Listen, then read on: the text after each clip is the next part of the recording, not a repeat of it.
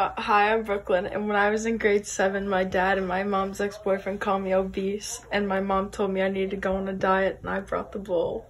Hi, my name is Abby, and when I was six, my mom died a week before my birthday, and when I was 14, I watched my dad die. And I brought nerds. Brooklyn, and in grade 10, my best friend let her boyfriend finger her in front of me two different times, and the second time there was a 12 year old in the room. And I brought Skittles.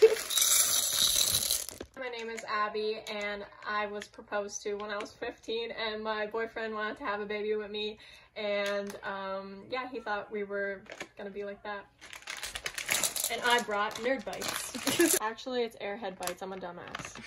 Hi, I'm Brooklyn, and when I was 10, my dad told me I was a disappointment and yelled at me because I couldn't take my medication normally.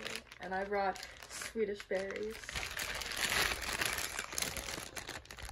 And in my first year of high school, I tried to unalive myself in the bathroom, and everyone talked about it.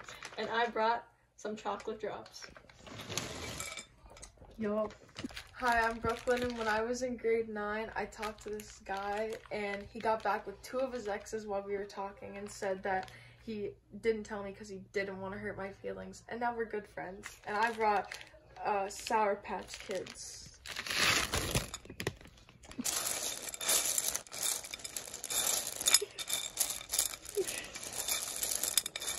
Cheers to trauma!